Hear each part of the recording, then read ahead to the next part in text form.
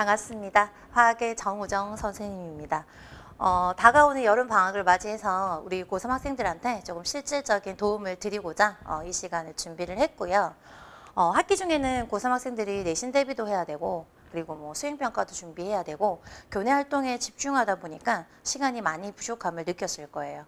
현강에서 고3들 보면 이렇게 이제 학원으로 오는 거 보면 늘 좀 지쳐 있고 많이 피곤해하고 과제를 해오는 비율도 현저하게 많이 떨어지거든요. 그래서 어, 고3 학생들 같은 경우는 이제 그 부족한 시간을 만회할 수 있는 기회 그리고 성적을 가장 올리기 쉬운 시기가 방학이거든요. 근데 여름 방학 같은 경우는 고3에 있어서 마지막 기회가 될 수 있는 시기이기 때문에 굉장히 중요합니다.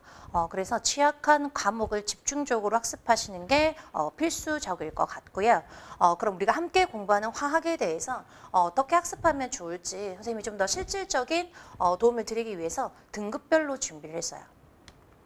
어, 우리 고3 학생들 내가 1, 2등급이야 하는 학생들을 보면 어, 보통 되게 자신이 화학을 조금 한다 그리고 약간 화학에 대해서 자신감 있는 학생들이 1, 2등급인 학생들이 많죠. 그러다 보니 좀 난도 있는 문제에 대해서는 좀 흥미를 느끼는데 개념을 요하는 문제라든지 그러한 문제는 조금 등한시하는 경우가 많아요. 그러면서 오히려 어, 본인이 반복하는 실수를 이제 파악을 못하게 돼요. 자꾸 이제 난도 있는 문제만 풀다 보니까 가장 중요한 건 본인이 반복하는 실수를 파악해서 50점을 받을 수 있는 확률을 높이셔야 됩니다.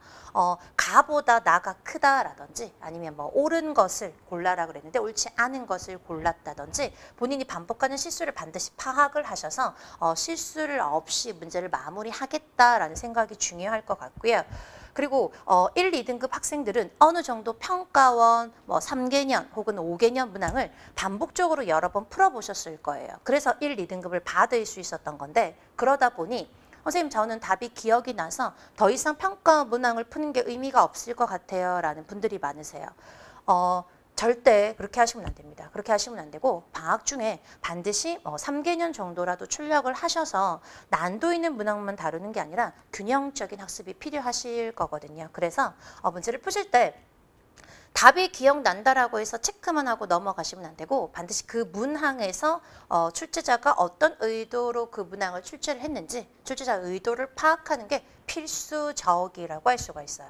어, 그리고 어, 고3 1, 2등급 우리 학생들은 모의고사로 방학 동안에 실전 대비를 하시는 게 어, 도움이 되실 거고요. 이때 실전 대비를 하실 때 가장 중요한 게 1번부터 20번까지 문제를 풀 때 세 번째 페이지나 혹은 두 번째 페이지에 어 이게 뭐지? 어 내가 이거 처음 보는 유형인데 라는 모르는 문항을 발견하게 됐을 때 반드시 그냥 넘어가셔야 돼요. 그냥 넘어가셔서 20번까지 마무리를 하시고 시간 안에 해결을 하신 다음에 그 다음 추가적으로 시간을 투자하셔서 보셔야 돼요. 자, 모르는 문항을 만났을 때 자신이 어느 정도 과학을 한다라는 생각 때문에 어? 내가 모를 리가 없는데? 내가 문제를 잘못 읽었나?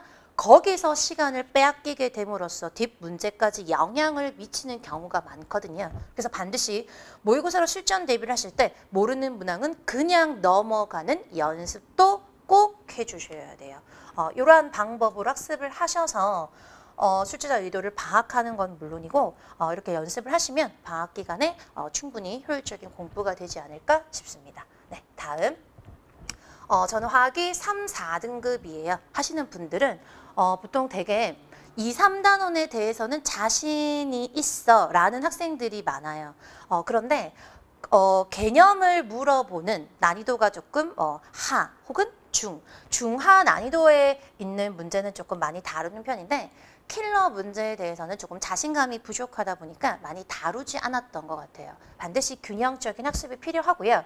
어, 내가 3, 4등급이야. 분명히 부족한 개념이 있으실 거예요. 그 부족한 개념을 보완을 하셔야 되고 어, 우리가 일반적으로 킬러라고 얘기하는 1단원의 양적 관계라든지 4단원의 중화 반응, 금속의 반응성이라든지 이 부분에 대해서 반드시 순차적으로 해결을 하셔야 돼요. 자, 만약에 예를 들어서 방학 1주차에 다른 전반적인 문항을 보셔야 됩니다. 킬러만 보라는 얘기가 아니야. 자, 전반적인 예를 들어서 뭐 평가원, 어, 2019 6월 만약에 출력해서 문제를 쭉 풀었어요. 자, 그런 학습을 하시면서 균형적인 문제를 푸시면서 킬러 문항을 순차적으로 해결을 하실 때 1주차에 중화 반응을 해결을 하셨으면 2주차에는 중화 반응 복습과 함께 금속의 반성을 함께 가지고 가주셔야 돼요. 자, 순차적으로 화학은 단원별로 연계가 없기 때문에 하나씩 하나씩 처리를 하셔도 무관하죠. 그래서 반드시 킬러 문항을 순차적으로 해결을 해서 1, 2등급으로 도약할 수 있는 발판을 여름방학 때 꼭 만들어 주셔야 됩니다. 어, 그리고 어, 선생님 제가 준비를 좀 많이 못했어요. 5등급 이하인 학생들은 어, 반드시 내가 개념이 부족해라는 거를 먼저 아셔야 돼요. 5등급 5등급 이하의 학생들이 선생님 전 개념은 아는 것 같은데 문제를 잘 못 푸는 것 같아요 라는 어, 오류를 범하시는 분들이 많으세요. 그게 아니라 개념이 부족한 겁니다.